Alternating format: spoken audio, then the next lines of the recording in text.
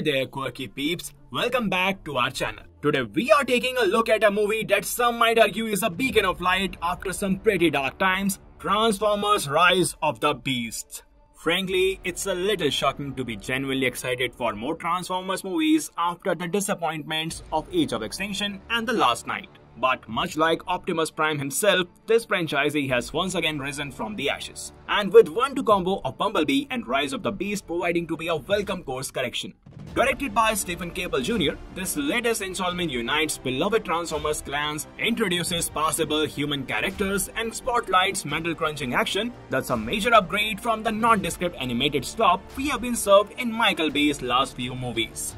While it's not going to win over the Academy for any category other than visual effects, Rise of the Beast accomplishes what it sets out to do. So, as a crowd-pleasing summer blockbuster that brings back the feel of Saturday morning cartoons, only on a grander and more exciting scale. Set in the not-so-distant past of 1994, Rise of the Beast comfortably distances itself from the less than stellar Transformers movies we try not to talk about anymore. We follow Brooklyn Electronics Wiz, an ex-soldier played by Anthony Ramos, as he comically grapples with the reality of mechanized aliens driving Earth's highways. With the irreplaceable voice of Peter Cullen as Optimus Prime, I am Optimus Prime, and I send this message to any surviving Autobots taking refuge among the stars.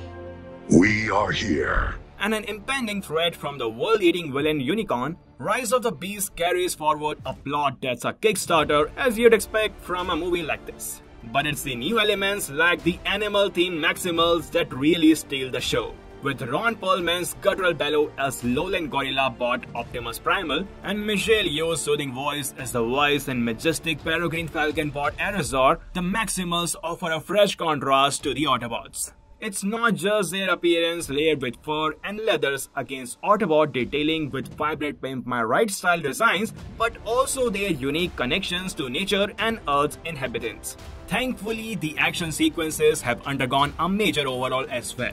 They are given the opportunity to shine because we are not bombarded with the headache-inducing Michael Bay action sequences that tank the later Transformers movies.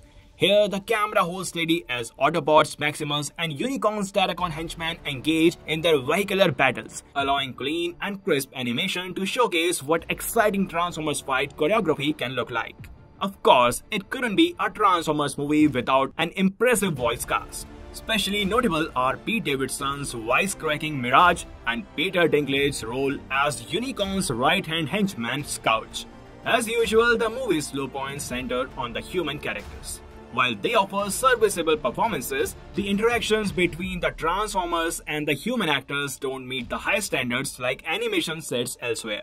But these are minor hiccups in an otherwise entertaining ride, featuring fire explosions, laser blaster shootouts, and limb-severing Transformers foreplay. Transformers Rise of the Beast proves that Bumblebee wasn't a fluke, and that the Transformers series is finally accelerating in the right direction even though it never achieves the epic scope it's aiming for, and the human side of the story can't keep up with the robots, Rise of the Beast returns to Transformers basics on a grand scale, without getting too big for its britches. It's like playing with Autobots and Maximus action figures in your backyard on a weekend. You are lost in a fun adventure that might not save the galaxy. But it's a good enough excuse to watch robots turn into cars and fight for a few hours. So that's our review of Transformers Rise of the Beasts. What did you think of the movie? Let us know in the comments below. And do check out our previous videos on Transformers Rise of the Beast for more awesome details. And as always, don't forget to like, share and subscribe for more cinematic insights and reviews. Thank you and I'll see you in the next one.